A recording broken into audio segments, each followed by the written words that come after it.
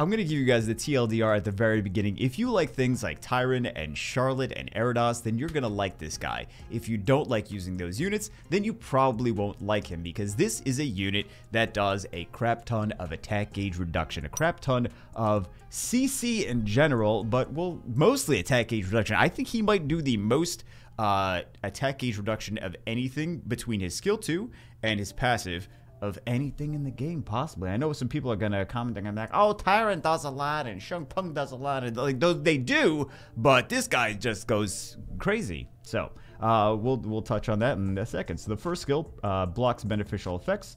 Uh, 30% chance goes up to 50%, which is not you know super reliable. And then RNG is not super reliable. Uh, but this also does get stronger with his passive, right? So this this is kind of like a Lauren first skill based on his passive if they are frozen. We're going to get into that in a second. Uh, grinding attacks all enemies three times with a giant whirlwind to reduce their attack bar by 20% each and attacks them once more to freeze them for one turn with a 30% chance. It doesn't go up here, which is kind of sad, but so it, it's only a 30% chance to freeze. But between this and the passive, it's going to decrease attack bar quite a significant amount. So Cold Brew passive attacks the frozen enemy, reduces the target's attack bar by 30% each. So all of this attack bar reduction is even greater. He also does skill 1 attack bar reduction if they are frozen. Um, and if the frozen enemy gains a turn, target's HP will be reduced by 10% each. So this right here, the best place I can think of for this is TOA Hell. So we're going to use him in TOA Hell in a second, but we're also going to use him in some PvP. He does so much. With the three turns cooldown, he does so much attack gauge reduction. Let's uh, compare him actually to a few other units that I think you're thinking of right now. Here's some pros and cons of the Water Espresso Cookie versus similar units. Number one, he's got great base speed, 114 base speed, which is very high. Not quite as high as Gingerbread, but still very high. Second skill is a multi-hit, which is great for additional damage. Uh, also, it's great to average out the RNG. Instead of being like, oh, I hope this lands, it doesn't land, well, that sucks then you have you can at least rely on one or two to land even if not all of them lands uh, even if not all of them land. Uh, he also has attack gauge reduction. So this should say freeze. I don't know why it's uh, on there, but uh, that should say freeze. Compared to Tyron, which actually I think he could be used great with Tyron, not even instead of Tyron. Uh, Tyron needs two turns to attack gauge decrease and stun. Well, actually, again, freeze. That's supposed to say freeze there. Uh, skill three, freeze, and then skill two, he needs to violent proc or get another turn to uh, actually get his attack gauge reduction. We have Verad, which is, you know, you have to actually summon Verad. Uh, no multi-hits, but more reliable, and an HP lead. Uh, we have Izara, which is a single target unit. She does have speed lead, but she does have single target attack gauge reduction. So Verad has, uh, he does also do the freeze and the attack gauge reduction in the same skill, kind of like the uh, the water espresso cookie, and he's more reliable. Uh, Erados, I think, is a good comparison to Erados. Erados has a higher stun chance. He has attack gauge absorb, and he has element neutral. So the f- I think that Erados is a stronger unit in general if you didn't take that passive into consideration. Like if it was just about the skill two versus Erados skill 3. Erados skill 3 is stronger. However, taking the passive into consideration is just going to cont- uh, continue to do that attack gauge uh, decrease with the uh, with the passive. And then also the extra damage, which I'm not really I'm not really talking too much about the extra damage, but he still is going to do uh, that extra damage if the opponents get turns. Uh, we have Sheng Pung, which is uh, no stun unless you put Despair Runes. Also Wind Element, but increases. A lot of times it's nice to have Water Element uh, especially if you're taking him to like arena defense or you know that your opponents are prepared for you bring in wind units. Um, he does increase cooldown, and he also is a nat 5 that you have to summon. Charlotte, who has no stun, she has stun on skill 2, but has a glancing debuff. I'm talking about her skill 3. And then she can keep procking and using her skill 3 more, but uh, to, to get access to her skill 3 uh, after she sleeps with skill 1, but with uh, with Water Espresso Cookie, he's just going to continue to decrease attack gauge with uh, with the skill uh, one as well. Uh, and then we have the Water Elven Ranger single hit. Stronger if activated, weak if, uh, weaker if not. It's just binary RNG. Kind of same with Verad. It's just binary. Either it does it or it doesn't do it. We're going to take it into uh, arena offense against this team. This is something I was using Charlotte with, but I thought that we could use uh, the water espresso cookie with instead. We have two fire threats here. We have the Nana is going to be weak against the Riley, of course, because water. So let's see how... Oh. Let's see how much we actually... Is how, are you guys tired of this yet? You're like, we were tired of it the entire time. We got the multi-hits, which is going to be good against the... Uh, see, we get nothing. Well, we actually don't get nothing. Let's do some attack gauge decrease here. All right, pretty nice. And then we have the Blade Slaughter. We're just going to come in. We're going to kill some stuff here. That's kind of the point. And then, unfortunately, we don't get... But this is this is what to actually expect. We don't get a whole lot of um, of CC because it's not very reliable uh, freezes. So there we go.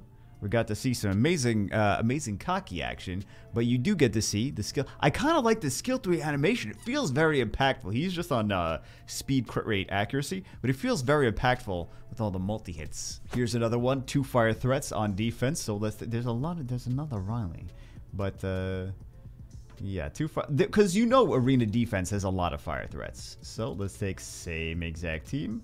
Let's see if we get a little bit luckier with... Let's take a look at the attack gauge reduction that we get. Not really a crap ton of attack gauge reduction. However, when it is... I like that it froze Riley, of all the things. Um, however, the we will get more attack gauge reduction when things are already frozen. So when we attack frozen things...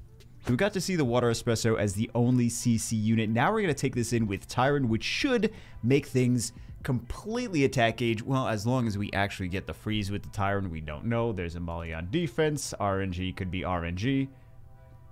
Remember, this is Summoners War. Oh, also, it is uh, it's kind of challenging to speed tune things with 114. Nice, we got CC on everything. This should be solid.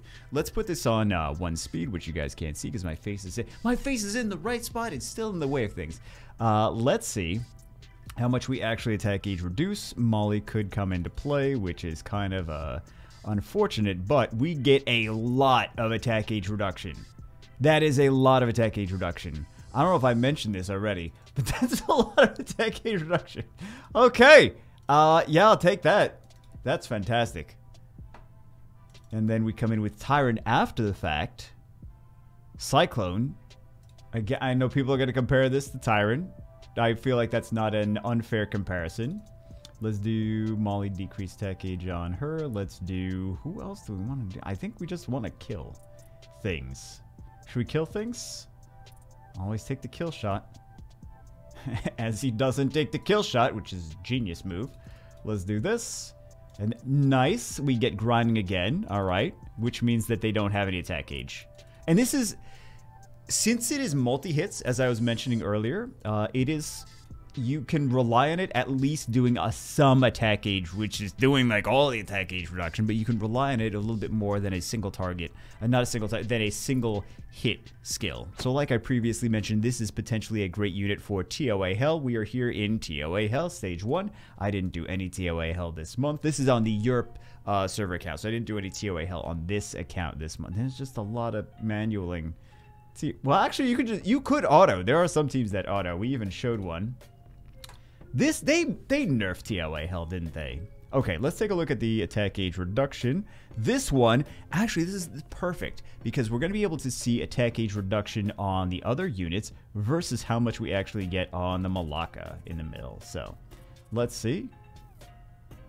We did, I mean, we did also get a lot on the Malaka, but we got more on the uh, on the what's his face. And then I just have the serpent here for the defense. What?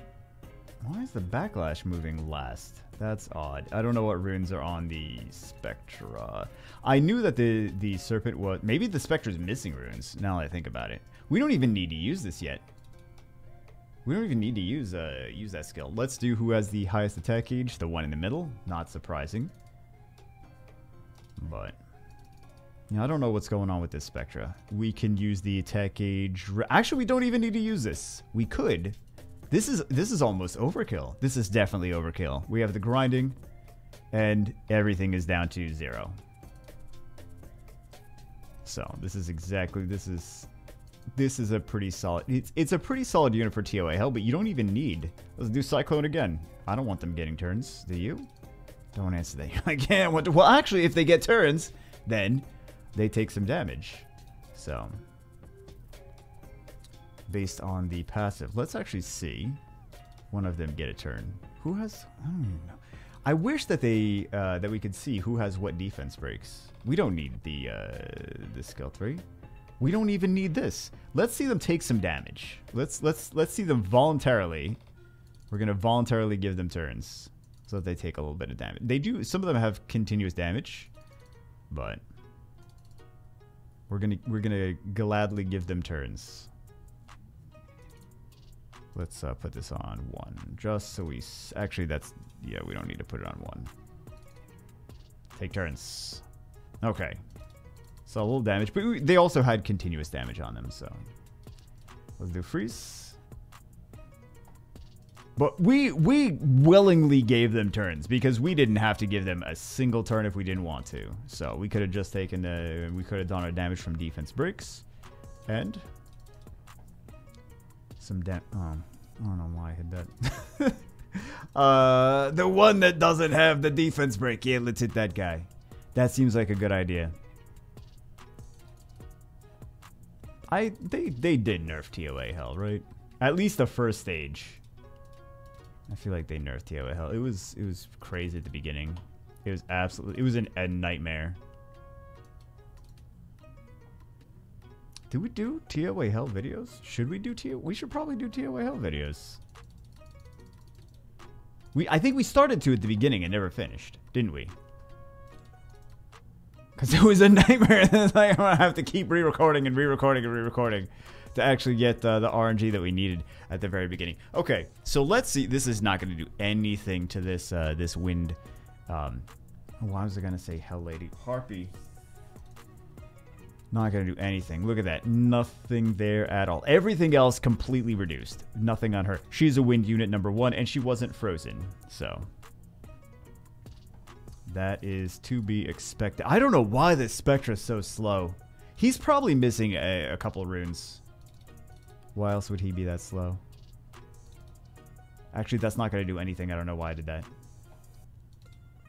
Let's do this. Let's do this. Yeah, the, the only issue is these, uh, these wind units. However, when we get to the boss stage, we are going to have an issue with the Ciara because she's a wind unit and we're not going to be able to freeze her. So that's to be that's to be the issue there. But we at least got to see we don't need to see this whole thing, but we at least got to see although Fran's still to do attack gauge reduction, but this is going to be significantly less uh, impactful. We could use a wind vagabond uh, against the boss here. That could be that could be a fun thing. We could also use uh, I think the paladin, although that's less. The stipulation here. Let's not even do this. Let's just do that. The stipulation here. See, this is this this is stunned, so this is not going to is not going to attack gauge decrease that. So, glancing hit. Oh, here we go, grinding. So this is everything's back down to zero except for this one, which it did do as part of the skill some attack gauge decrease, but it didn't do based on the fact that it's not uh, it's not frozen, so it didn't do more attack gauge decrease. But it's pretty solid. It's it's pretty solid. It's very similar to Tyron, but honestly, like as we're seeing here, you can just use this with Tyron and have the most value. This one should be interesting. We don't have a lot of. We're gonna take some reflect damage from the Alexandra, so that should be fun. This is not the team that I would generally take into this. However, I think it could still be pretty decent. We're going to go for Ariel over and over and over again. Grinding should set all their attack gauges down to basically nothing. I don't know that I really want to do the skill too, because that's going to destroy us. Let's just keep CCing. And Alexandra's pretty nasty right now. Not gonna lie, pretty nasty. Okay. Uh, let's do... Let's do attack gauge decrease here. Let's do this. Okay. Let's do one of these. Let's do, I'm just going to go for the Perna. I think we still lose this one, actually. as weird as it sounds, I think we still lose this. Because we have no way to deal with the Alexandra. All the reflect damage there. Yeah. Aside from the damage from being, uh... Yeah, aside from the...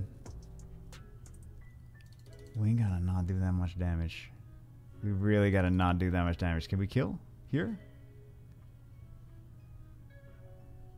That could work. That, that, that could work. That could work. Do we die? Does everything die? Okay. Yeah, we we managed to do it, but it was uh not not clean.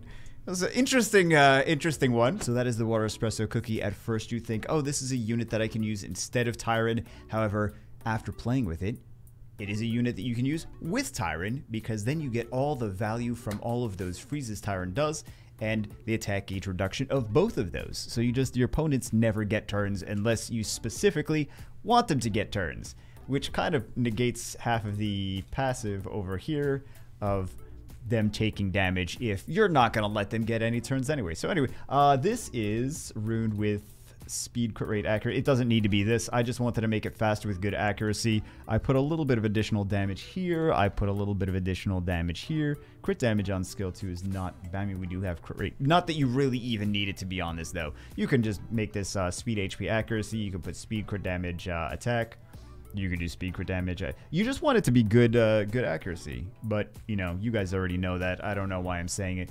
You guys already know. Anyway, that's it for this one. Pretty decent unit. Not crazy, OP, amazing, ridiculous, but pretty decent unit. And it's easy to get uh, somewhat reasonable speed. Or maybe even too fast sometimes. Because 114 base speed. Anyway, that's it for this one. Hope you guys enjoyed it. I will see you as always in the next one.